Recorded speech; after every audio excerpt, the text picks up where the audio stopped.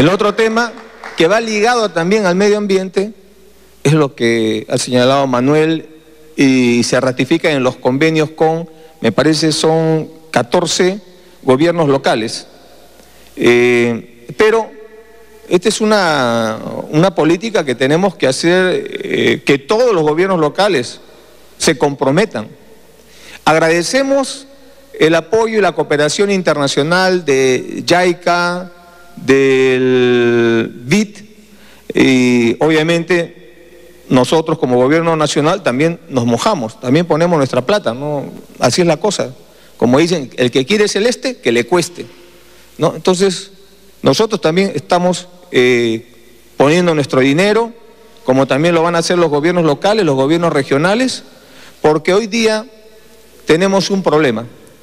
El crecimiento del Perú, el crecimiento económico del Perú, está visibilizando temas que antes parecían eh, inexistentes o irrelevantes. Uno de esos temas es, ¿qué hacemos con toda la degradación que estamos originando en nuestro medio ambiente, con la producción de basura y permitiendo que mucha de esa basura se degrade eh, de manera natural y por lo tanto dañamos el medio ambiente, porque ¿cuánto tiempo demoramos en que se degrade una pila o un plástico si lo botamos al agua o lo dejamos en el, eh, en el suelo? Y es más, la población peruana va creciendo. Cuando era niño, iba con mi padre, a, con mi familia, íbamos al sur y cuando estábamos cerca a Pachacamac, veíamos unos basurales donde había niños jugando y habían estos gallinazos pululando por ahí. Y yo me preguntaba, ¿este es el paisaje natural?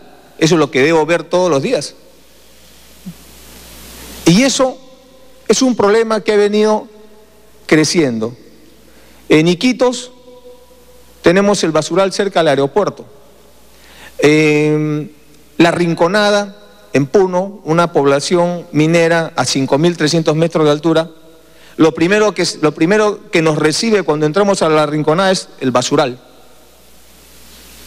Tenemos que cambiar esta situación y eso significa crear, desarrollar una estrategia, una estrategia que nos permita justamente tratar estos residuos sólidos a través de plantas de tratamiento.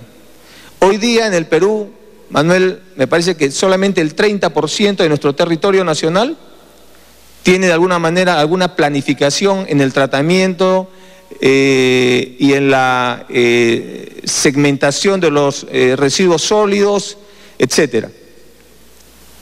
Pero no podemos continuar así. Por eso al 2016 la meta que se ha planteado, que nos hemos planteado como gobierno es coberturar todo el territorio nacional a través de una estrategia de tratamiento de residuos sólidos porque no es correcto que la basura la estemos botando a los mares, a los ríos, no es correcto que nos acostumbremos a convivir con esa situación que atenta contra nuestra salud y que no nos permite, no nos permite eh, situarnos como una ciudad moderna. Las ciudades están creciendo.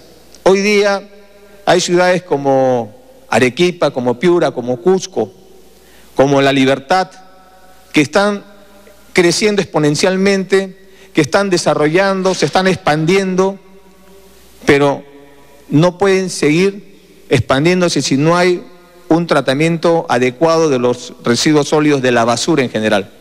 Por eso, este es, este es un esfuerzo importante, este es un esfuerzo que hace el gobierno nacional a través del Ministerio del Ambiente y con los gobiernos regionales, los gobiernos locales, para iniciar una lucha frontal contra este problema que hoy día nos, nos involucra a todos. En Puno tenemos el problema de la descontaminación del lago Titicaca. Tenemos que trabajar juntos, señor alcalde, en el tema de la descontaminación de nuestro querido lago Titicaca, su planta de tratamiento de residuos sólidos, igual que en Cusco, igual que en Apurímac, en Huancavelica, en las zonas de la Amazonía, en las zonas de la Amazonía sobre el agua. Pero también todo lo echamos al agua. Y más abajo estamos pescando, ¿no? Y estamos con nuestro ceviche, nuestro comemos rico ahí, ¿no? Y y así es, en Tumbes, señora alcaldesa, tenemos que trabajar juntos, vamos a trabajar juntos en el tema de lo que es el drenaje y en lo que es el mercado de Tumbes también para hacerlo mejor, más habitable, más acogedor para nuestra población. Cuente con nosotros. Y así vamos a trabajar con cada uno de ustedes, porque nosotros creemos firmemente que sus proyectos son nuestros proyectos. Como lo dijo el alcalde que me antecedió, si a, nosotros, si a ustedes les va bien, a nosotros nos va bien. Y si a nosotros nos va bien, nos va bien a todo el Perú. Por lo tanto, como digo, solos podemos caminar rápido, pero juntos vamos a caminar mejor y más lejos. Muchas gracias. Palabras del presidente de la República que ha invocado a realizar un trabajo conjunto con los gobiernos locales en beneficio de la salud de la población. En este momento el presidente de la República rubrica la promulgación de ley de la creación del Servicio Nacional de Certificación Ambiental para las Inversiones Sostenibles SENACI, que se convierte en la ventanilla única, es decir, la simplificación del proceso de evaluación de impacto ambiental para lograr inversiones sostenibles que promuevan el desarrollo económico, social y ambiental. A la entrega señor presidente de la República de un chaleco y un morral hechos a base de material textil reciclable. Este chaleco está hecho con 18 botellas de plástico de 2 litros y medio. 18 botellas de plástico, ¿no? 18 botellas de plástico de 2 litros y medio. Con 18 botellas, también un chaleco.